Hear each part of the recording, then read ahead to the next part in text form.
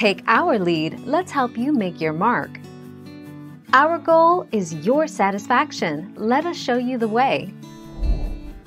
Harvesting. Harvest autumn planted garlic in early summer and spring planted from midsummer to early autumn. Lift the bulbs with a fork once the foliage starts to fade and go yellow. Avoid delay as the bulbs open up and store less well if lifted late.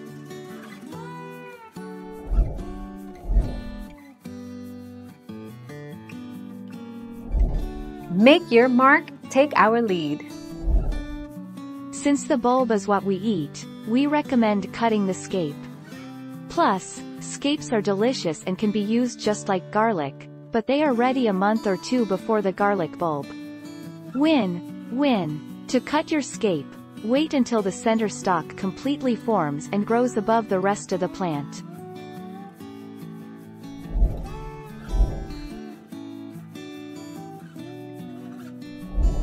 Let's help you make your mark. Garlic should be cured or dried before storing it for later use. Start by brushing off any soil remnants clinging to the bulbs.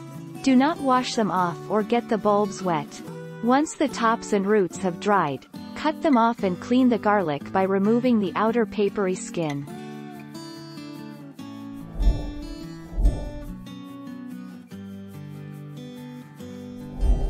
Let's help you make your mark.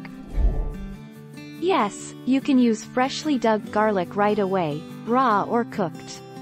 You can also eat garlic before it's cured.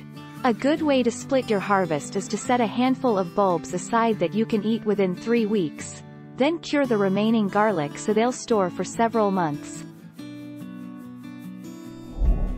Thank you for watching. Please subscribe and hit the bell notification.